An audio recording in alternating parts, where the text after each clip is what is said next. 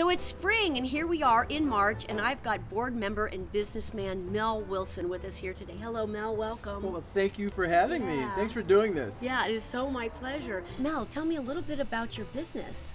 Well, I have a real estate company. We have offices in Northridge and another office in San Fernando. And we represent buyers and sellers, landlords and tenants, and investors. So tell me, what are your passions? Well, I have a passion for middle class workers, middle income workers.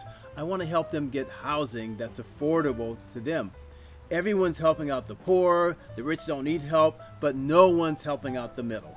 So tell me, how would people benefit from being a member of the chamber? networking, staying connected, knowing the issues in your community. Being a part of the chamber, you're doing something really good for other people, but also you get something good back. And that is people get to know that you're in business and that you're credible. Tell me a little bit about your background. Well, you know, I played football four years at Cal State Northridge, became an All American, got Whoa! drafted by the New York Giants, and played in the NFL for a short while, got injured, and I decided, what can I do to make good money and be good? And that was real estate. Mel, you've been holding out on me. Ah! That's incredible. Who knew? I, I'm sitting here with a celebrity. Oh no, I'm And- sitting with a celebrity. Oh, what you're doing. I am so impressed. Aw. It's set you are setting such an incredible example for everyone else.